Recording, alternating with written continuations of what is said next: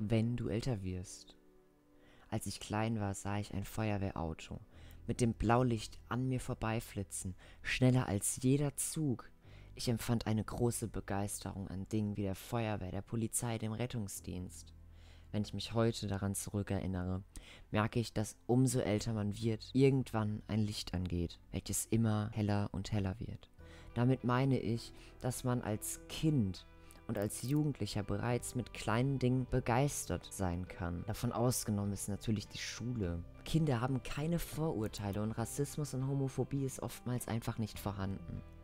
Mit dem Alter kommt die Weisheit und mit der Weisheit kommt das Problem, sich Vorurteile zu bilden, welche man als Kind einfach nicht hatte. Klar, man bekam damals erzählt, dass der Weihnachtsmann einen langen weißen Bart hat, dick ist und Kekse isst, welche man auf dem Tisch stehen hat. Solche Geschichten hat man als Kind noch geglaubt, doch mit dem Alter kommt auch die Unzufriedenheit und der Wille, alles zu hinterfragen. Vielen Menschen, welche einfach nicht genug Glück im Leben hatten, beginnt eine depressive Phase, welche gegebenenfalls in einer tieferen Depression enden kann, aus welcher man im schlimmsten Fall nicht mehr eigenhändig herausfinden kann. Dies alles heißt aber dennoch nicht, dass wir im Alter nicht mehr beeinflusst werden können.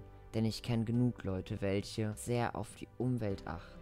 Klimawandel und Umweltverschmutzung machen diesen Menschen eine Heidenangst. Generell streift unsere Gesellschaft immer mehr an ein großes Auseinanderleben. Die einen sind sehr kommerziell eingestellt und dessen Ziel ist es, mit egal wie viel sozialen Verlusten Geld schöffeln zu können. Doch was diese Menschen nicht merken, ist, dass egal wie viel Geld sie in ihrem Leben verdient haben, dies werden sie nicht mit in den Tod nehmen können.